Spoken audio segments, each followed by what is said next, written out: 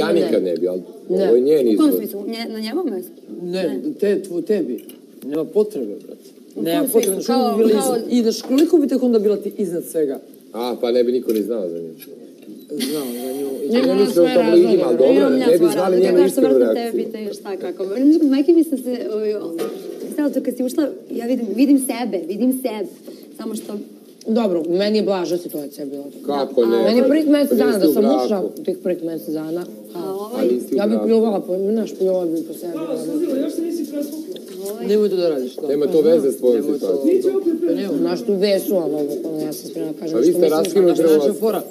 Ja sam, brate, Mi smo ja ga sam, on- brate, s njim pričala. ja i Miljan smo E, ga Mi smo tamo. raskidali svaka dva dana, nego je on ušao. E, zato on bio zbog. Pa priča, priča, priča Da, ali, on. ali ima menstruaciju da znaš. To žensko Dolazi, možda ti ostane po- šta ti je, ja. Slušaj, a mi... Da imaš krzno toga- pa zato. Da. Večer pre toga, ja govorim nešto vezano za, za ono, može drugarica, moja bivša drugarica, ovoga, i ovaj... Ja sam da te pitam, jesi dobra sam.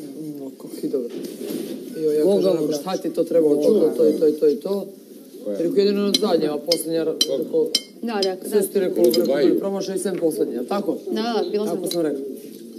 Jeste vas da ste posle postale dobre. Da, mi smo, ne, u realitiju smo bili. I on meni kaže, kao, pa kao raskinuli. Biži. Raskinuli smo. rekao. Biži. I kao, brate, stvarno, stvarno me kaže, stvarno me kaže, volilo mjesec dana nisam mogu doći do sebe. Mesec dana. On Da, tam, mi smo se radi na to, ljudi. On bi ušao svakako i da je bilo okej situacija. I on bi meni rekao to posljednjih dana, on nije smeo meni to da prizna, zato što je znao da ja neću, neću se štiti, neću ga uopšte dobro, podržavati u tome i to je to.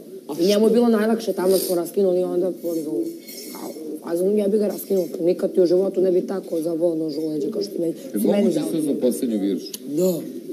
A to je on. Brate, pa ne delite vi ništa.